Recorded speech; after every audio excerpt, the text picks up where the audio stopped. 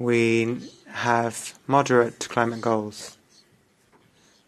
And that's linked to the sanctions. And these sanctions uh, continue to drive energy prices up.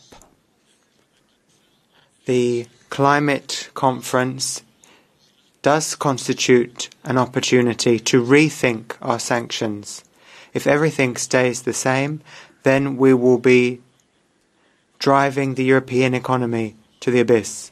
We have to react responsibility. We need to come up with new ideas. We need to come up with new proposals.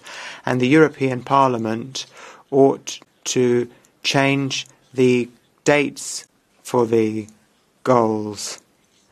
If we look at the current sanctions, the sanctions we have in place could undermine our competitiveness in Europe. We need to work hand in hand for a greener economy, but with people, not against people. Thanks very much. Mr. Kelly, for one minute, please.